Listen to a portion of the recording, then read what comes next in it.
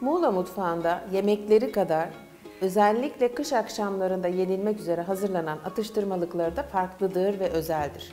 Bunlardan bir tanesi birçoğumuzun çitlembik olarak bildiği, yerelde ise çetimek, çitimek olarak bilinen tohumlardır.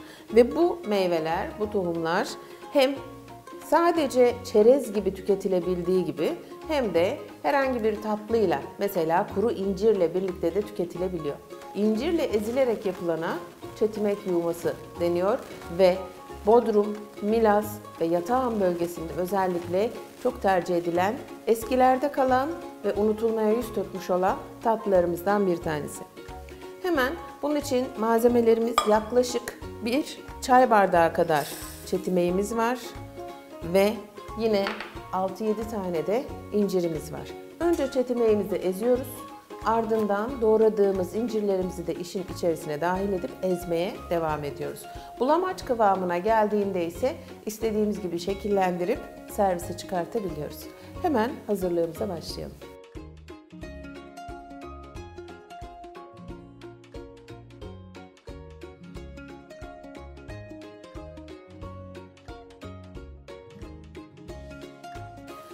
Çetimeklerimizi iyice ezdik ve hemen incirlerimizi küçük küçük doğruyor. İçerisine ilave edip incirlerle ezmeye devam ediyoruz.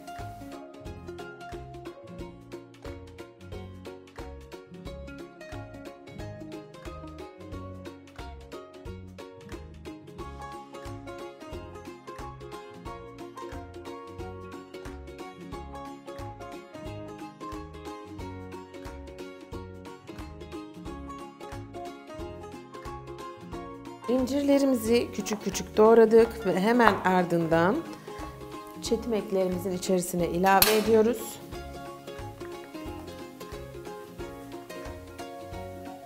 Ve incirlerimizle birlikte macun kıvamına gelene kadar eziyoruz.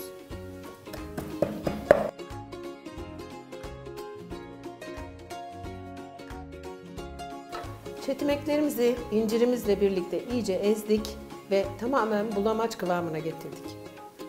Şekillendirerek servisine geçebiliriz.